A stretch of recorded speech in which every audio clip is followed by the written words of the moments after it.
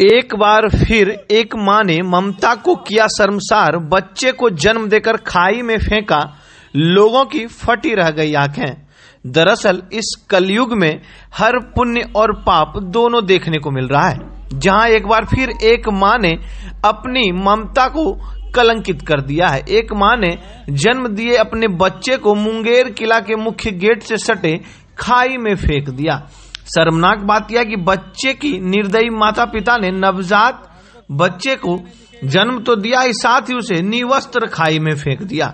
हालाँकि नवजात की मौत जन्म के बाद हुई अथवा उससे मृत ही जन्म लिया है, यह कह पाना मुश्किल है।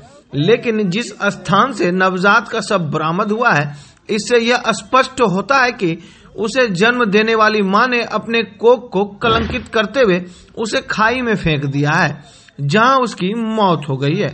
वहीं दोपहर लगभग तीन बजे नवजात के शव को मुंगेर के रहने वाले मोहम्मद महफूज खान ने देखा। इसके बाद धीरे धीरे इसकी सूचना फैलने लगी, जिसके बाद वहाँ लोगों की भीड़ इकट्ठा हो गई। इस घटना को देखने के बाद लोगों तरह तरह की चर्चा करने लगे। इधर महफूज खान ने कहा कि ऊपर वाला अच्छे कर्मों के बाद इंसान को संतान देता है, जबकि कई लोग संतान का सुख नहीं पाते हैं। लेकिन कुछ लोग जन्म देने के बाद संतान को इस प्रकार मौत के मुँह में धकेल देते हैं। यदि ऐसा लोगों को संतान का पालन पोषण नहीं करना था तो उसे जन्म ही नहीं देना था। हम अभी आ रहे थे बड़ी दरगाह से। हाँ। ऊपर वाला किसी को बच्चा देता नहीं है। हाँ। और दिया तो खाए में दिख दिया हम आ रहे थे तो वहाँ देखे तो हम उसको निकाल के हाँ। ऊपर रखे नवजात है बहुत ही गर शर्म शर्मनायक काम है जो भी किया है बहुत ही शर्मनायक काम है। हाँ। जब पालने का ये नहीं रहता तो बच्चा को क्यों पैदा करता? है मेरी भी वाइफ को डिलीवरी है हाँ। और हम बड़ी बाज़ार से मन्नत मान के आ रहे हैं। मेरी भी हाँ। बेटी हुई है ऑपरेशन से। हाँ। समझे?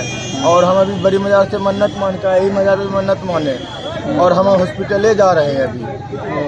जिसमें डॉक्टर बोला कि कम चांस है हाँ। और जब तक यहाँ आए तो देखे ऐसा ऐसा घटना हुआ।